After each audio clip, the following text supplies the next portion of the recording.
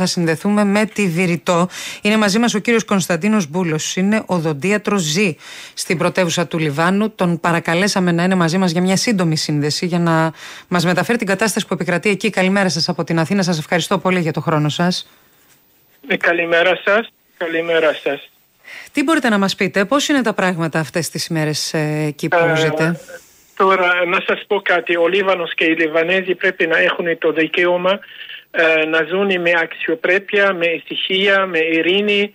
Ε, αλλά εμείς ε, δεν έχουμε αυτά, αυτά τα πράγματα. Από το 1975 ζούμε έτσι. Πρέπει να έχει μια διεθνής και αραβική παρέμβαση για να σταματήσουν αυτές τις φάγες. Πόσα χρόνια ζείτε, ζείτε εκεί; Εγώ γεννήθηκα Α, εδώ, κυρία μου. Εκεί. Μάλιστα. Ναι, γεννήθηκα εδώ. Γεννήθηκα στο πόλεμο, μεγάλωσα στο πόλεμο και τώρα ζω εδώ με το πόλεμο. Δηλαδή δεν γίνονται αυτά τα πράγματα. Είναι 50 χρόνια που ζούμε έτσι. Κάθε 2-3 χρόνια mm. μας κάνουν το ίδιο πράγμα. Πόλεμο, πόλεμο, πόλεμο, πόλεμο. Δεν γίνεται αυτό το πράγμα. Ε, με καταλάβατε; Ναι, όσο μπορεί να σας καταλάβει κανείς από την ασφάλεια μιας χώρας που δεν είναι σε αυτή την κατάσταση κύριε Μπούλο. Ναι, ναι όσο ε, μπορούμε να καταλάβουμε τι ζείτε.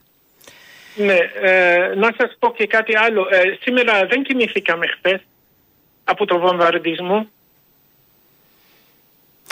Δεν κοιμήθηκαμε καθόλου αυτή τη στιγμή που είστε, δηλαδή ο, ο κόσμος έχει επιστρέψει στα σπίτια του, είστε σε καταφύγια, είστε, ε, ε, μπορείτε να κάνετε τη δουλειά κυρία, σας, τι, ποια είναι η κατάσταση αυτές τις κυρία μέρες. Κυρία μου, δουλειές, δουλειές δεν έχει, σταματήσανε οι δουλειές, τώρα είναι, αυτή είναι η τρίτη εβδομάδα, τέταρτη εβδομάδα. Μετά δεν μπορείς να κατεβαίνεις στο καταφύγιο γιατί κρεμίζουν τα κτίρια πάνω στο κεφάλι σου. Με καταλάβατε; Ναι. Τι, ποια είναι, είναι, η ενημέρωση που έχετε... Δύσκολα πράγματα. Η, ενημέρωση... Δύσκολα πράγματα. Έχετε ενημέρωση εκεί από τις αρχές, έχετε... Δηλαδή το, το, όχι, όχι, όχι, όχι, τίποτα, τίποτα. Ε, ε, οι άνθρωποι που φύγανε από τα συνορα από τα χωριά εκεί πέρα, ε, ζουν εδώ στους δρόμους, τα παιδοδρόμια, κοιμούνται έχει βέβαια, ανοίξανε και τα δημοτικά σχολεία και τα ιδιωτικά σχολεία, αλλά οι περισσότεροι είναι στους δρόμους.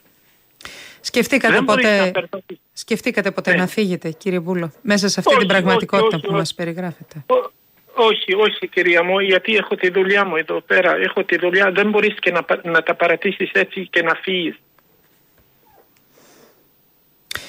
Καταλαβαίνετε. Δηλαδή έχουμε τώρα πόλεμο ε, ένα μήνα, δύο μήνες και μετά ξανα, ξαναρχίσουμε από την αρχή. Κύριε Μπούλος, δεν θέλω να κάνω κατάχρηση του χρόνου σας. Σας ευχαριστώ πολύ ε, για αυτή τη σύντομη συνομιλία που είχαμε. Σας ευχαριστώ και εύχομαι, εύχομαι να είστε ασφαλείς όσο Ευχαριστώ πάρα όσο πολύ. Ευχαριστώ πάρα Καλημέρα σας. Καλημέρα.